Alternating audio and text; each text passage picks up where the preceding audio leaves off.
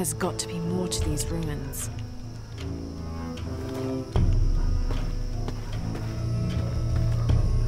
A Maya pyramid inside some sort of cave.